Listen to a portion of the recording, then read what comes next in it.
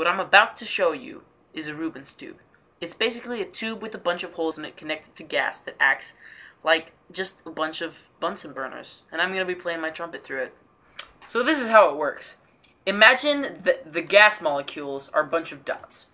And if you could see this wave, it would be that in the areas that there are more flame, the dots are closer together in the actual tube. Because as the wave moves through the tube, the congested areas bring the molecules closer together, which creates a bigger flame, and the others that are less congested create a smaller flame. As I play my trumpet, you can clearly see the difference in sound waves by the variation of notes.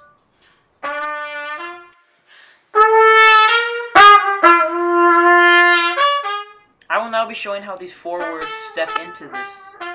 So, reflection. The reflection of the light uh, from the fire as it bounces off the steel tube and the camera lens.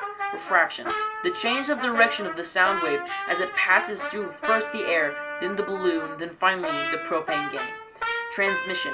As the sound wave passes through the gas, using the gas as a medium. That's translation. Absorption. As the balloon absorbs some of the sound waves, taking some of the energy from the sound waves and turning it into vibration. And finally, to show some school spirit, why not?